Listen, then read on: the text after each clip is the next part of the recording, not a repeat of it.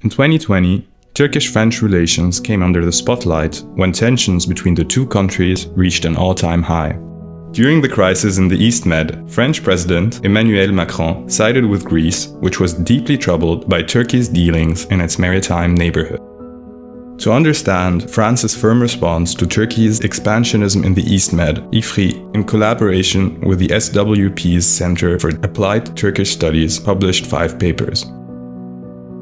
In her contribution, Dorothée Schmid explains how the defense pact signed by France and Greece in September 2021 marks a strategic shift in the relationship in the eastern Mediterranean and beyond.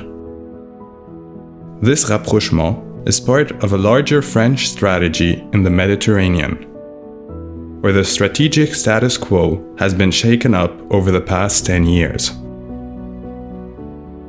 Macron's rapprochement with Greece should be understood within a wider Mediterranean context. The French president indeed followed in the footsteps of his predecessors in creating formats to promote political dialogue and cooperation in the Mediterranean region. Paris wants to reposition itself as a major actor in the area by creating a network of alliances. Greece has become an indispensable partner in this regard, France's traditional Philhellenism is being reinforced by a number of factors. Athens has proven resilient to external geopolitical shocks. It is now not only a client for the French defense industry, but also a stable and resilient political interlocutor. Greece doesn't want to remain trapped in its standoff with Turkey and is now quickly opening to new geopolitical perspectives. Its historical friendship with Paris has been consolidated by France's attitude of solidarity during the sovereign debt crisis. French diplomatic experience now makes Paris an ideal partner to potentialize Greece's ambition of becoming a regional actor. In parallel, the Greeks try to distance themselves from the Cypriot issue, which has recently been reinvested by Turkey.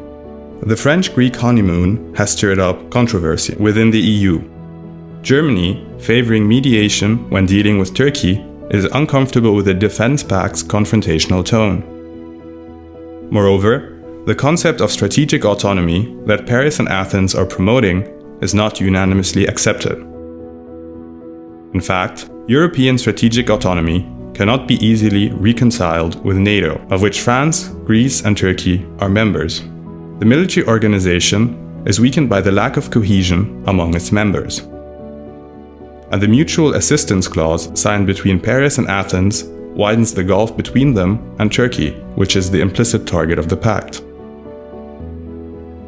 The relationship with Turkey is actually of vital importance to Paris, so ideally in the future, it would be interesting to see France working on the rapprochement between Greece and Turkey as they are two equally important allies.